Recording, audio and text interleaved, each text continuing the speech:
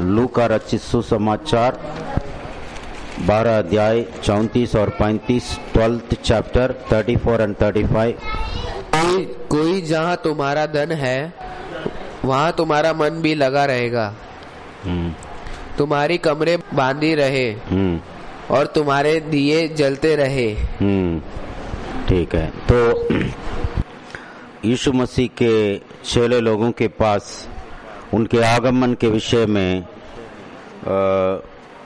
बातें कर रहे थे। कहते हैं, जब मैं आऊँगा उस समय में आपको ऐसा चौकस रहना है, सावधान रहना है, जागते हुए रहना है। उनके लिए बाट जोतते रहने वाला होना चाहिए और जागते हुए रहना चाहिए। तो प्रभु जी कहते हैं, मैं जब आऊँगा, मैं आप लोगों के लिए सेवकाई करूँगा, ऐसा कहते हैं। और ये भी कहते हैं, जिस समय में मैं आने वाला हूँ, उसको तुम जानते नहीं है, इसलिए हमेशा तुम तैयार रहना है। तो समय हम नहीं जानते हैं, लेकिन हम जानते हैं, यीशु जी का आगमन ज़रूर होने वाला है। उसके लिए प्रभु जी हमें चेतावनी देते हैं, हमें सिखाते हैं, हमारा आत्मिक जीवन के विषय में हम कैसे सावधान रहना चाहिए? जागते हुए रहना है और हमारा दिए जलता रहना है। तो परमेश्वर हमारा मन के अंदर, आत्मा के अंदर दिया को जलाता है, वही उसको अंधेरा को उजियाला बनाने के लिए हमारे अंदर वो अपना ज्योति को चमकाता है। योहन्ना एक नौ में पढ़ते हैं, दुनिया में आए हुए एक एक इंसान को प्रकाशित करने वाले जीवन के ज्योति यीशु मसीह है। यौवन आठ बारह में एक बहन के बात हो रही थी वहाँ पर। जब लोगों ने उसको दंड देना चाहता था, यीशु मसीह ने उसको माफ़ कर दिया और उसने यौवन आठ बारह में कहते थे, जगत की ज्योति मैं हूँ, जो मेरे पीछे होलेगा अंधकार में नहीं चलेगा, जीवन के ज्योति पाएगा। तो मेरे भाई बहन हम लोग यीशु के पीछे चलने वाले हैं, यीशु मसीह को विश्वास किए हैं, इसलिए तो हम मंडली में आए हैं। तो हमारा अंदर परमेश्वर ज़रूर अपना जीवन की ज्योति को दिया को, दीपक को जलाया है, उसको चला रहा है, और आज हमारा ज़िम्मेदारी है, उस दिया कभी बुझना नहीं है। कभी भी दुनिया की बातों में पढ़कर वो बंद नहीं होना है। तो ये दीपक है परमेश्वर का जीवन के द्वारा, परमेश्वर का जो अनुग्रह के द्वारा हमारा अंदर वो दीपक उसने एक दीपक नहीं है, काफ़ी सारे हैं, जिसके बारे में हम देखेंगे। परमेश्वर ने हमारे अंदर जलाया है, प्रेम का ज्योति को जलाया है। वो जलते रहना चाहिए, कभी भी वो बंद नहीं होना चाहिए। तो भजन संगीत अठारह में दाऊद कहता था, तू मेरे दीपक को तू ही जलाता है, तू मेरे अंधेरे को दिन में बदल देता है। भजन संगीत अठारह का, ट्वेंटी एट भजन संगीत अठारह ट्वेंटी एट। हाँ तू ही है मेरे दीपक को जल जलाता है। मेरा परमेश्वर यहोवा मेरे अंधियारा को उजियाला कर देता है। कर देता। देखे परमेश्वर की उजियाला जो है एक आशा का उजियाला है प्रेम का उजियाला है सामर्थ्य की उजियाला है चंगाई की उजियाला है। हमारा जीवन में उसने उस ज्योति को चमकाया है। तो कभी कभी इंसान के दिल में नफरत आ जाते हैं। इस दिया बुझने जैसे होने लगता है। एक यौवना दो में यौवना लिख रहे हैं, जो अपने भाई को नफरत करते हैं, अंधेरा में रहता है।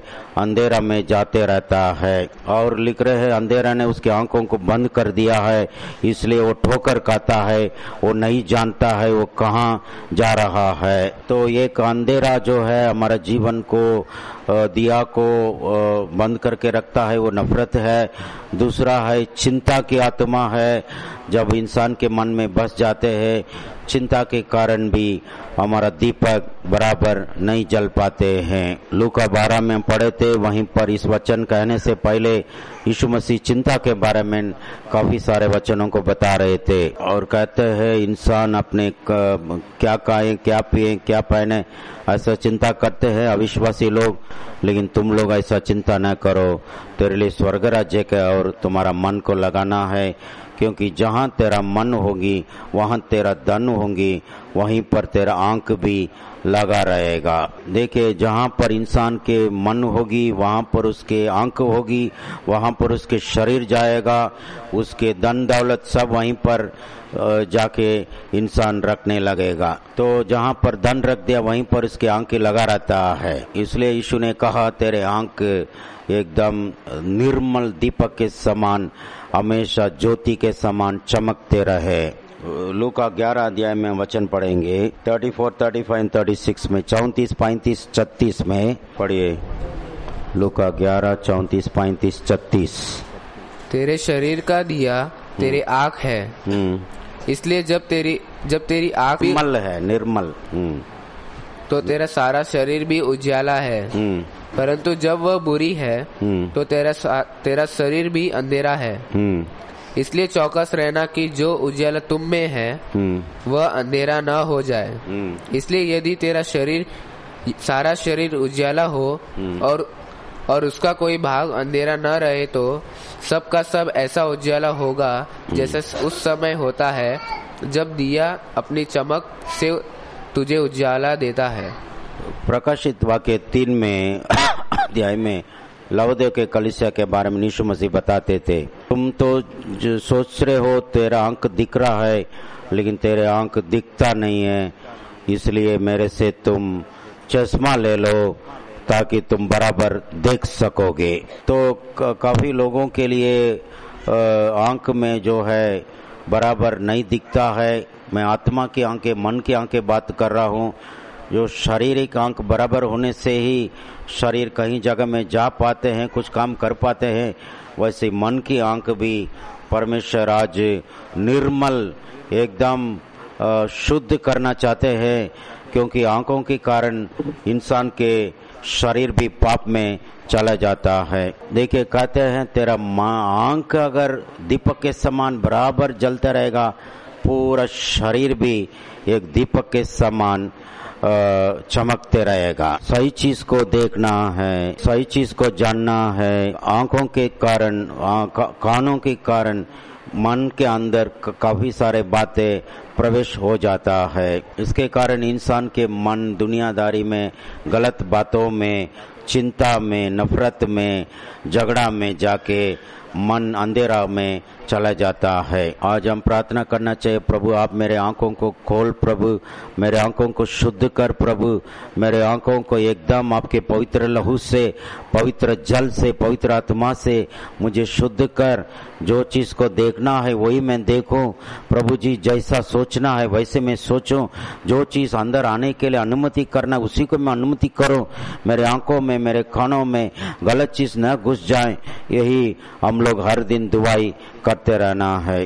तो परमेश्वर का दीपक है, आँख है, उस जहाँ पर बराबर देखता है, शरीर पूरा एक दीपक जैसे बन जाता है। शरीर एकदम ज्योति का समान रहता है, इसका मतलब क्या है? उसमें पाप बगैर शरीर रहेगा और बीमारी बगैर रहेगा। ऐसे शरीर हम लोग सब लोग चाहते हैं, लेकिन यीशु मसीह यहाँ पर हमें लूका ग्यारह में उसका वचन से हमें सिखाता है। तेरे आँखों को तुम बराबर रखोगे, सही जगह को जाने दोगे, सही चीज़ों को देखने लगोगे, सही चीज़ों को जानने लगोगे।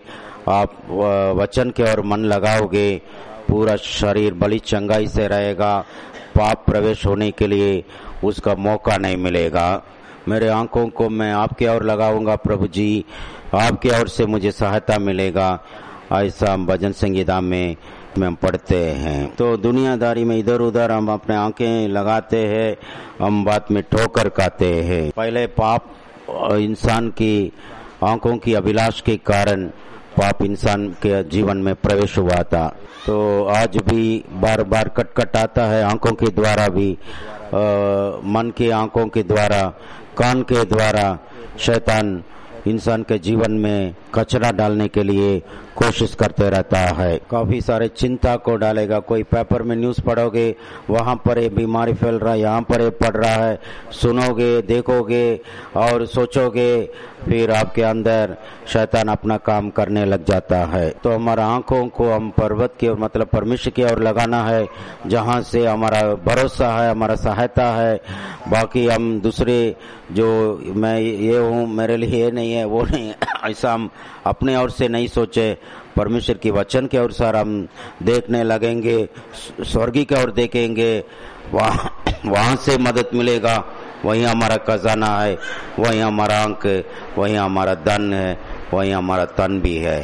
पवित्र आत्मा हमारा दीपक को हमेशा जलाते रहेगा। लेविक का किताब में चौबीस अध्याय में हम लोग वचन इस तरह से पढ़ रहे हैं। दो से चार तक हम पढ़ सकते हैं। हम्म, पढ़ना। लेवी का किताब चौबीस दो से चार। फिर यहोवा ने मूसा से कहा हम्म। दो से चार हम्म। इज़राइल इज़राइलियों को यह आज्ञा दे कि मेरे पास उजाला देने के लिए कुट के नि, निकाला हुआ जैतून का निर्मल तेल ले आना कि दीपक नित्य जलता रहे। हारून अप, हारून उसको में मिलाप वा, मिलाप वाले तंबू में साक्षी पत्र के बीच वाले पर्दे से बाहर यहोवा के सामने नित्य साँझ से बोर तक बोर तक सजाकर रखे, यह तुम्हारी पीढ़ी पीढ़ी के लिए सदा की विधि ठहरे। तो परमेश्वर के समूह में एक दीपक हमेशा चालू रहेगा। उसके लिए कहते हैं, एक निर्मल कूट के निकाले हुए जैतून का तेल लोग लेकर आएँगे। उसके द्वारा वो दीपक जलता रहेगा। प्रकाशित वाक्य चार का पाँच में भी परमेश्वर के समूह में स्वर्ग राज्य में हम देख रहे हैं कैसे दीपक वहाँ से हमेशा जलते रहता है। प्रकाशित वाक्य चार का पाँच। पढ़ना बेटा चार का पाँच। उस सिंहासन में से बिजलियाँ और गर्जन निकलते हैं और सिंहासन के सामने आग के साथ दीपक जल जल रहे हैं। वे परमेश्वर की सात आत्माएँ हैं। हम्म। हम्म। देखिए, वहाँ पर दीपक जल रहा है। स्वर्ग राज्य का भी एक चित्र वहाँ पर दिया जा रहा है और मूसा का मिलाप वाले तंबू का भी चित्र दिया जा रहा है। पवित्र आत्मा वहाँ पर, ज्योतिमय आत्मा, सात आत्मा मतलब पूरा भरपूरी का आत्मा, सात दीपक मतलब पूरा भरपूरी लाइट ही लाइट है। हाँ सात मतलब सात नहीं है, पूरा लाइट है, पूरा उजियाला है। वैसे मिलाप वाले तंबू में भी है, वैसे यहाँ पर भी, कलिसिया में भी है। परमेश्वर की आत्मा के द्वारा हमारे हृदय में परमेश्वर अपना दीपक को जलाते रहना चाहते हैं। तो इसको बुझाने के लिए शैतान जितना भी पानी डालते रहेगा निराश डालेगा उदास डालेगा शरीर में बीमारी लाने की कोशिश करेगा हाँ, दूसरा लोगों की कोई शब्दों से पानी डालकर उस बुझाने के लिए लेकिन पवित्र आत्मा तेल देते देते और भी हमें जलते रहने के लिए हमको मदद करते रहता है। वहाँ पढ़े थे लेवी चौबीस में कि साँझ से भोर तक मतलब सुबह जब तक सूरज नहीं उगे तब तक वो जलता रहेगा वैसे ही जब तक यीशु मसीह दुनिया में नहीं आएँगे, तब तक कलिसिया ज्योति चमकते रहेगा। परमेश्वर का प्रेम के लिए, सामर्थ्य के लिए, उसके अद्भुत काम के लिए एक गवाही बनकर परमेश्वर के ज्योति को हम चमकते रहना है। आयशया का साठ में परमेश्वर के वचन कहता है, उठो और प्रकाशमान हो जाओ, तेरा उजियाला आ गया है। एक से तीन तक वचन पढ़ते हैं ऐशया साठ का हम्म, पढ़ना। ऐशया साठ सिक्सटी वन टू थ्री। उठ प्रकाशमान हो हम्म। क्योंकि तेरा प्रकाश आ गया है हम्म। और यवा का तेज तेरे ऊपर उदय हुआ है। उदय हुआ है देख पृथ्वी पर तो अंधियारा और राज्य राज्य के लोगों पर घोर अंधियारा छाया हुआ है हम्म। परंतु तेरे ऊपर यह हुआ उदय होगा और उसका तेज तुझ पर प्रकट होगा। हम्म। जाति जाति के प्र, पास प्रकाश के लिए और राजा तेरे आरोहण के प्राप्त की ओर आएँगे। देखिए, सारे परमेश्वर का कलिसिया है, प्रभु के बच्चे लोग हैं, उनके अंदर परमेश्वर अपना ज्योति को चमकाते रहते हैं। दुनिया में पूरा लोग निराश में है, उदास में है, डर के बंधन में है, काफ़ी सारे शैतानिक बंधन में है। अंधेरा के ताकत उनके ऊपर कार्य कर रहा है। जब वो लोग अंधेरा से, उस जगह से यीशु मसीह का जानकारी पाकर कलिसिया में, प्रभु के भवन में आते हैं, परमेश्वर का ज्योति को वो लोग महसूस कर पाएँगे। इसलिए यीशु जी कलिसिया से बोल रहे हैं, तुम लोग ज्योति हो, अगर तुम बुझ जाओगे, तुम अंधेरा हो जाओगे, फिर अंधेरा का क्या हाल होगा? तुम तो उजाला देने वाले, तुम सावधान रहो, तेरे आँखें बंद न हो जाएँ, तेरे उजाला अंधेरा में न बदल जाएँ। सावधान रहना है, क्योंकि तुम दुनिया के ज्योति हो। फिलिपियो का दो अध्याय में चौदह से सोलह तक हम वचन में पढ़ रहे हैं। पढ़ना। चौदह से सोलह फिलिपियो को दो। सब काम बिना कुड़कुड़ाए और बिना विवाद के किया करो हम्म। ताकि तुम निर्दोष और बोले होकर टेढ़े और हटीले लोगों के बीच परमेश्वर के निष्कलंक संतान बने रहो। हाँ। जिनके बीच में तुम जीवन का वचन लिए हुए जगत में हम्म। जलते दीपकों के समान दिखाई देता हो हम्म। कि मसीह के दिन मुझे घमंड करने का कारण हो कि न मेरा दौड़ना और न मेरा परिश्रम करना व्यर्थ हुआ। यहाँ लिख रहे हैं जीवन के वचन को लेते हुए जलते हुए दीपकों के समान इस दुनिया में परमेश्वर में रखा है। यहाँ लिख रहे हैं अगर आप कुटगुड़ाएँगे फरियाद करते रहेंगे अरे मेरा हस्बैंड ठीक नहीं है, अरे ये चर्च ठीक नहीं है, ये आदमी ठीक नहीं है, मेरा ये नौकरी ठीक नहीं है, ये ठीक नहीं है, वो ठीक नहीं है, ऐसा कंप्लेन करते रहेंगे। हमारा दीपक बुझने जैसे होने लगता है। लेकिन यहाँ कह रहे हैं, हम अपना जीवन के वचन लिए हुए हैं। दीपक के समान परमेश्वर हमें रखे हैं। हमारे अंदर से धन्यवाद आएँगे, हमारे अंदर से प्रेम के शब्द आएँगे, हमारे अंदर से विश्वास के शब्द आएँगे। हम परमेश्वर की ज्योति के समान चमकेंगे, क्योंकि पूरा पीढ़ी जो है, आसपास के लोग हैं, टेढ़े हैं, अठिले हैं, वो लोग अंधेरे में है, उनके पास कोई आशा नहीं है। उनके बीच में एकमात्र आशा है, कलिसिया के लोग हैं, विश्वासी जन है, जिन्होंने परमेश्वर की आत्मा को पाए हैं, जिन्होंने परमेश्वर की वचन को पाए हैं। तो एक दीपक क्या दिखाता है? इंसान के जीवन का जागृत है, अलर्ट है, उसको बताता है। रात हो जाते हैं, हम लाइट बंद कर देंगे और अपना कपड़ा चेंज कर देंगे। आराम की कपड़ा मतलब नाइट का कपड़ा पहनकर सो जाएँगे। तो शारीरिक तौर से हम करते हैं, लेकिन आत्मिक तौर से हमारा लाइट कभी बंद नहीं हो पाएगा। हमारा कमर कसकर बांधे रहना है। कभी भी आत्मिक मनुष्य के लिए नाइट ड्रेस नहीं है आत्मिक मनुष्य के लिए नाइट लैंप नहीं। हमेशा सारे चालू रख करके हम जागे हुए रहना पड़ेगा कभी कभी हम लोग जहाज़ में काम करते थे, उस समय में हमारा 24 कलाक ड्यूटी मतलब 12 घंटा ड्यूटी है, लेकिन रात में भी कभी कभी हमारे लिए कुछ ज़रूरत पड़ेगा, हमको भागना पड़ता था। तो हम लोग जानते हैं, अगर रात में कुछ प्रॉब्लम आने वाला है, हम लोग क्या करेंगे? जो कपड़ा था ड्यूटी ड्रेस वही पहन के सो जाएँगे लाइट भी बाँध रखेंगे, थोड़ा बहुत सो जाएँगे फ़ोन आएगा फटक से, भागने लग जाएँगे। लेकिन देखिए क्या करेंगे, दुनिया में ऐसे लोगों को दबा के काम लेते हैं, शरीर के लिए आराम तो देना चाहिए, लेकिन आत्मा के लिए आत्मिक मनुष्य कभी भी लाइट बंद न करें, कभी भी नाइट ड्रेस न पहने।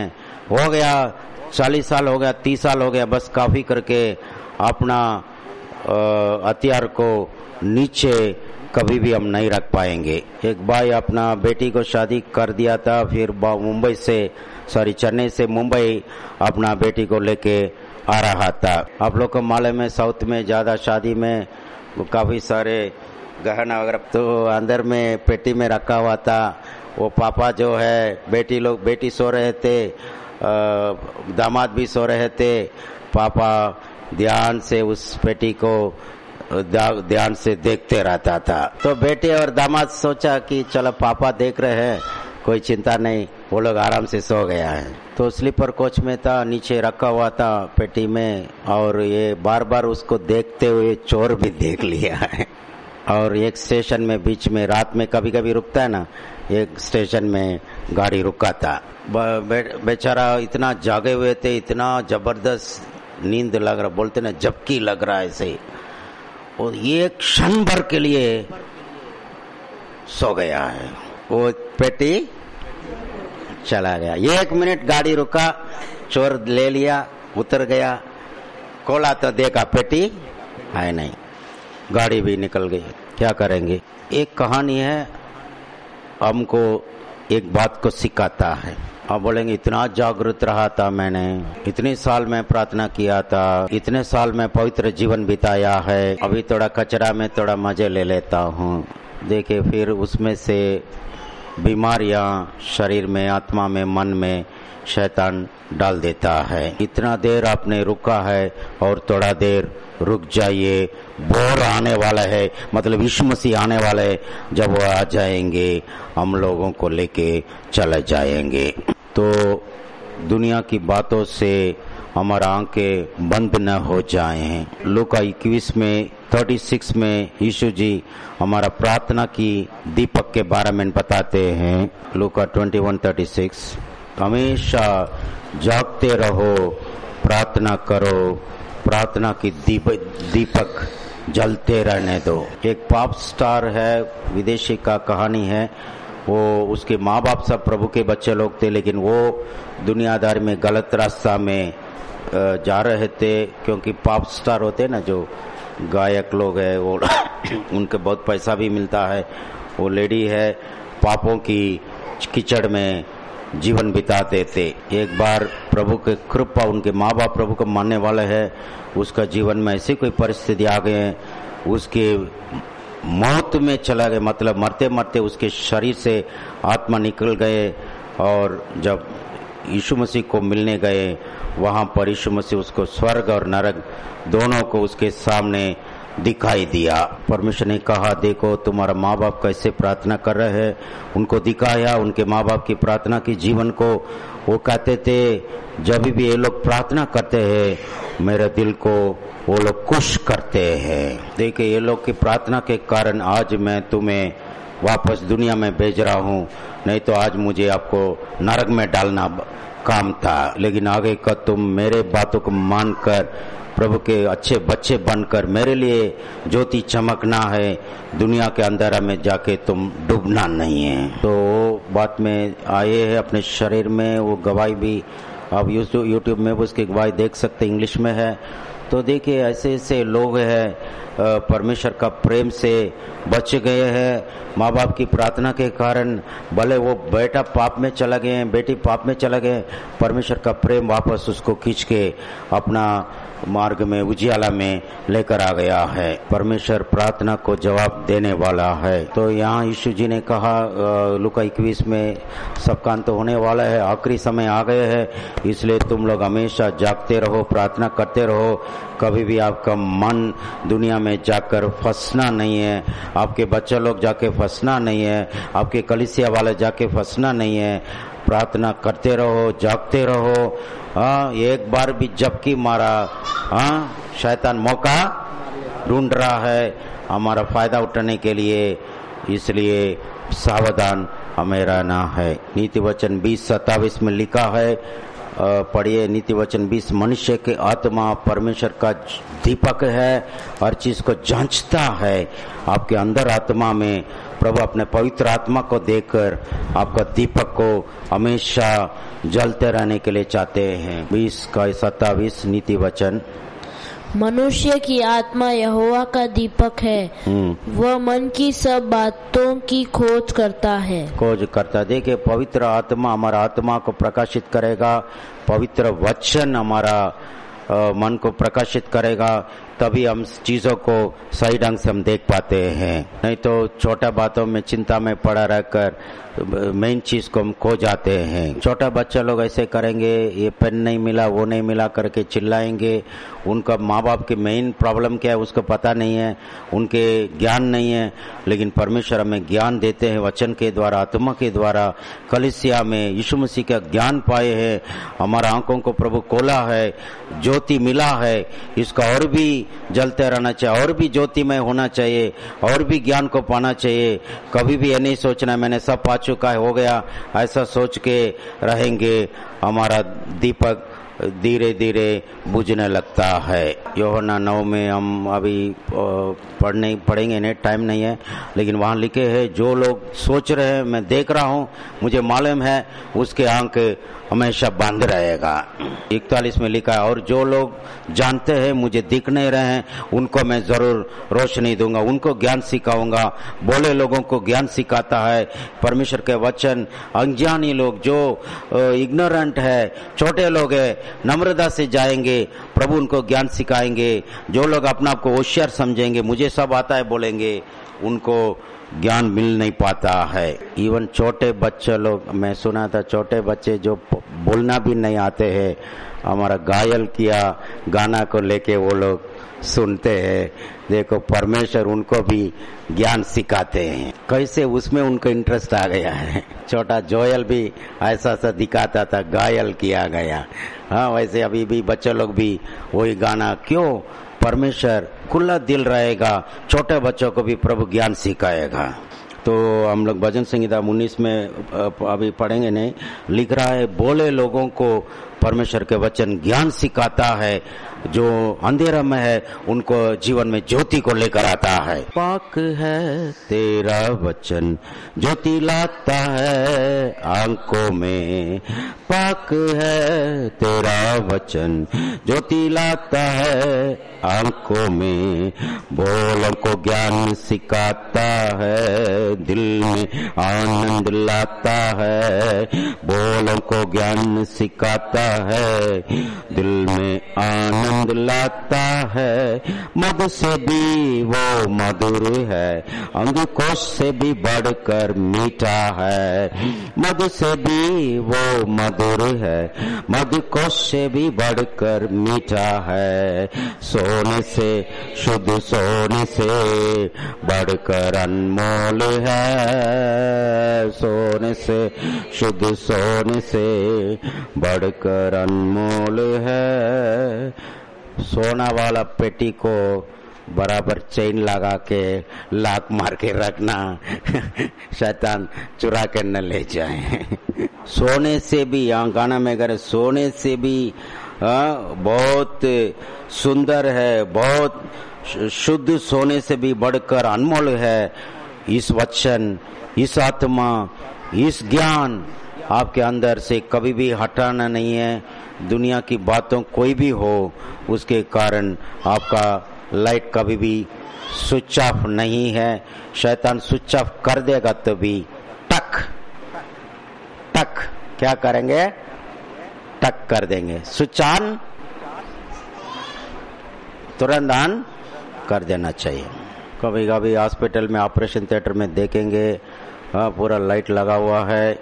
और वहाँ पर अगर कुछ पावर और चला गया, टक, तुरंत क्या होगी? जनरेटर होगी इन्वर्टर होगी, वो बंद नहीं हो सकते। एक मिनट के लिए भी हमेशा लाइट चालू रहना है। तो वैसे आत्मिक जीवन में हम खास काम में लगे हुए हैं। आलतू फालतू बातों में नहीं है।